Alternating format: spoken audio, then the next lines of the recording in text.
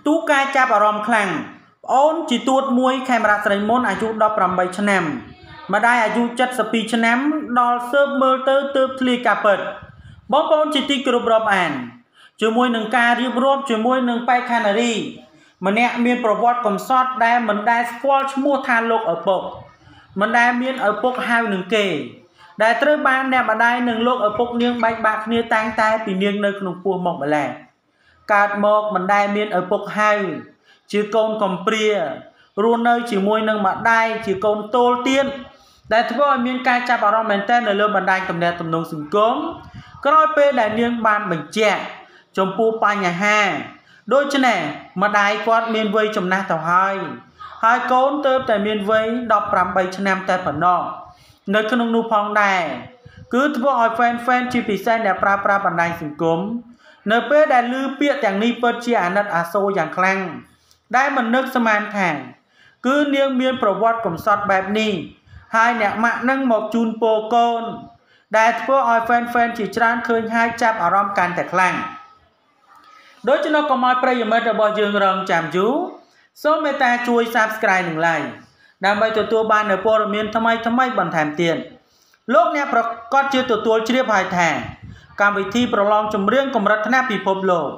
Cambodian Idol រដូវកាលទី4វគ្គចុច audition សប្តាហ៍ទី4កាលពីថ្ងៃទី29ខែសុភាឆ្នាំ2022ចម្រាញ់បានបេក្ខជនបេក្ខនារីជាច្រើនជាប់ដល់វគ្គបន្តនៅក្នុងនោះក៏មានបេក្ខជនមួយរូបដែលជាប្អូនជាទួតមួយរបស់កម្ពុជាតារាចម្រៀងខេមរៈស្រីមុនផងដែរដែលនៅក្នុងនោះបេក្ខនារីឈ្មោះអិនសុភាឧស្សា ហ៍ហើយអិនជូលីណាអាយុ18ឆ្នាំមកពីខេត្តកំពង់ចាមត្រូវជាប្អូនស្រីជាទួតមួយ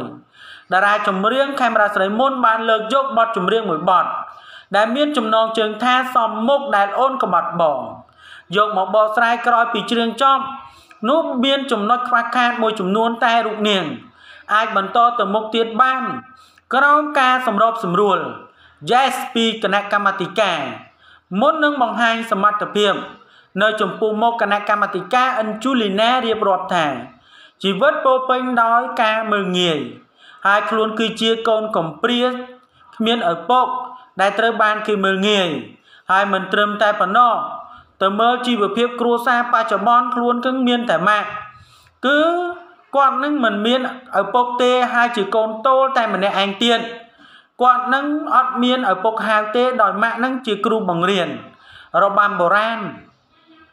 នៅក្នុងនោះផងដែរបាននិយាយពាក្យថាប៉ាគឺគ្មានសោះតែម្ដងដោយឡែកកាលពីការគ្មានឪពុកនោះម្ដាយនឹងមិនបានបញ្ជាក់ទេ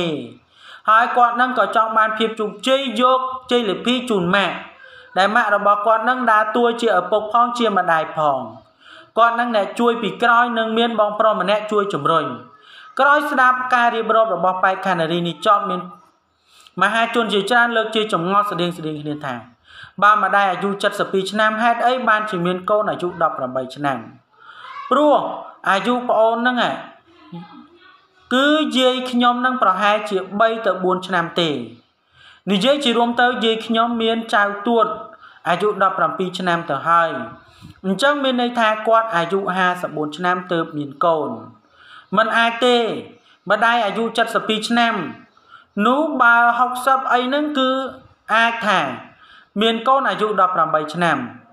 ម្ដាយអាយុ72ឆ្នាំ កូនអាយុ18ឆ្នាំ មិញអាយុ54ឆ្នាំទើបបានកូនស្រី បើគិតពីអាយុគាត់គឺសមថាជាចៅជាងល្អច្រើនពីព្រោះថាមើលទៅវាខុសប្លែកគ្នាឆ្ងាយហើយគាត់អាយុប៉ុណ្ណេះក៏មិនសម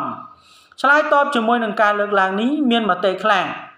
លើកយកមកចំនួនសម័យខ្លួនថាគាត់មានកូន នៅអាយុច្រើនហើយគាត់នឹងមានតែកូននឹងមួយទេ